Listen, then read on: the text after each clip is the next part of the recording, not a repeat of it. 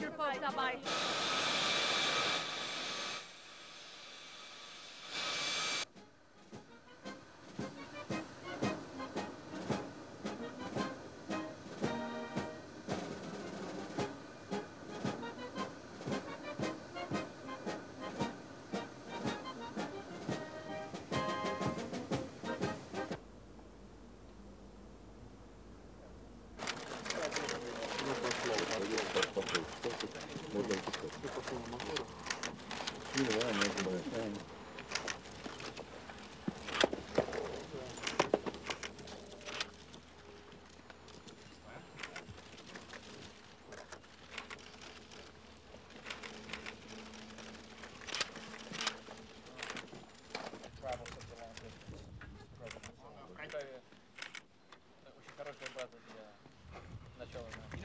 Know about the very legend?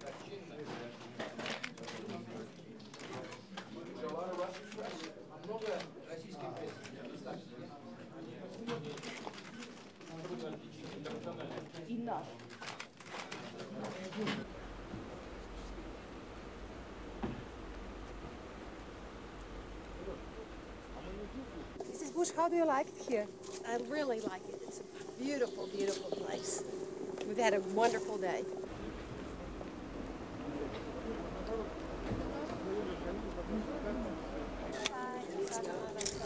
What did you like most here in the castle, Mrs. Bush? Well, I like the print shop, but I like the view the best.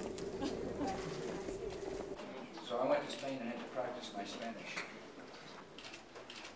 Mr. President, what can you say about what's been accomplished so far? You'll say it at the press conference. You meant much longer than was originally planned, making We did.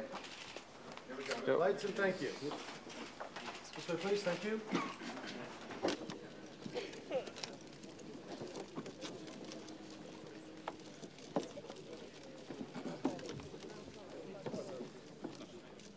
We have a unique opportunity to address the true threats of the 21st century together. We have a great moment uh, during our tenures to cast aside the suspicions and doubts that used to uh, plague our nations. And I'm committed to do so. I said in, uh, in uh, Poland, I'll say it again Russia is not the enemy of the United States. As a matter of fact, after our meeting today, I'm convinced it can be a strong partner and friend, more so than people could imagine. I offered something logic and a hope. Our relationship is larger than just security relationships. It's bigger than uh, figuring out how to deal with the ABM treaty. It's much bigger than that. It deals with uh, two leaders who share values. Mr. Arshad Mohammed of Reuters. Что касается э, проблемы противоракетной обороны. Официальная позиция России известна. Я не думаю, что нужно тратить время для того, чтобы еще раз ее здесь озвучивать. Мы полагаем, что договор противоракетной обороны 1972 года является кра- краеугольным камнем современной архитектуры международной безопасности. М, Мы исходим из того, что есть элементы, которые нас объединяют с нашими партнерами в Соединенных Штатах, на что мы должны обращать внимание.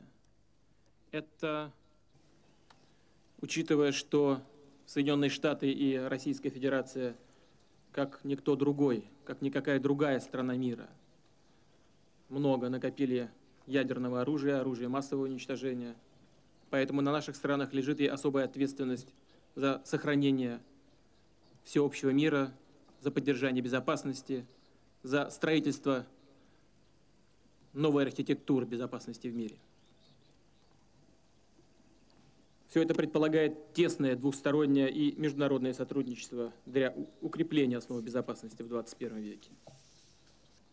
При этом любые односторонние действия могут лишь затруднить решение основных проблем современности. and congratulate the people on the 10th anniversary of its independence on June the 25th.